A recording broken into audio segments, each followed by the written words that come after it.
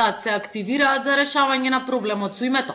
Ова би можело да се заклучи од текстовите во грчките медиуми, како во изминатите денови додека Ципрас беше во Њујорк, така и сега по неговото враќање во Атина. Според етнос, американскиот државен секретар при посетата на Грција, веројатно следниот месец, како главни приоритети ќе ги има македонското и кипарското прашање. Како што пишува дописникот на грчкиот вестник од Вашингтон, Џон Кери има намера да го испита расположението на Груевски за напредок кон решение, а од Ципрас на средбата добил порака за македонскиот премиер да му пренесе дека ако не ја промени цврстата позиција, земјата нема перспектива.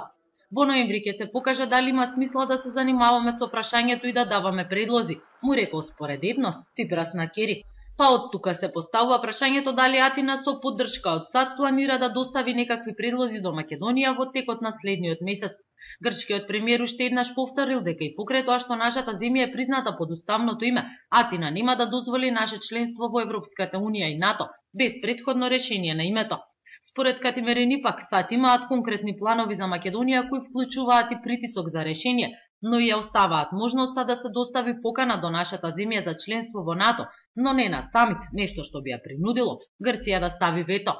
Весникот ова го тврди подкрепувајќи се на два документи испратени до Атина од грчките амбасади во Скопје и Вашингтон, Катимерини коментира дека планот е под палката на Викторија Нуланд, која се чини дека не е многу умилена во грчките медиуми, а која се очекува да ја посети Грција кусо пред пристигнувањето на Џон Кери. Канал 5 во Атина, Сања Ристовска.